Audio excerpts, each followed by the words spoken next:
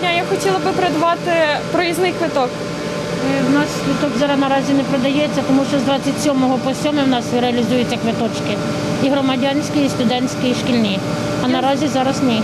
Хмельничанка Ірина розповідає, чому зазвичай користується саме проїзним квитком у комунальному транспорті. Так як я часто користуюся громадським транспортом, я би хотіла придбати проїзний квиток, тому що я вважаю, що це більш економніше, аніж купити електронний. Студентський проїзний коштує 70 гривень, і я можу цілий місяць, скільки хочу на день їздити. Наталія Березюк працює кондукторкою 24 роки. Розповідає, із введенням е-квитка проїзні квитки все ще купують. Саме більше громадянські.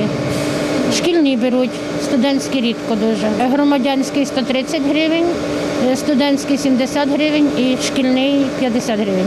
Не розглядається питання відміни проїзного квитка, каже директор комунального підприємства Електротранс Олексій Ковтун. Проїзні квитки в нас в наших планах на ближайший час, на найближчий час е, е, залишаються, тому що досить багато і е, організацій беруть централізовано в нас для своїх працівників проїзні квитки, і е, багато громадян ними користуються.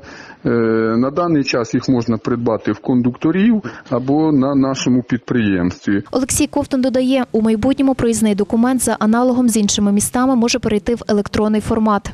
Тобто то буде зразок е, транспортної картки е, з відповідною градацією вартості, тобто на кількість поїздок або безлімітний, або з якоюсь встановленою кількістю поїздок. За словами Олексія Ковтуна, кожна людина обирає для себе спосіб оплати за вартість проїзду у громадському транспорті. Якщо людина досить часто і інтенсивно користується громадським транспортом, звичайно ж їй буде е, вигідніше купити проїзний квиток. Якщо е, пасажир, скажімо так, не е, не часто користується нашими послугами, ну то для чого переплачувати, щоб там десь раз на тиждень проїхатись в тролейбусі. Валерія Ковальчук, Олександр Горішевський. Новини на Суспільному. Хмельницький.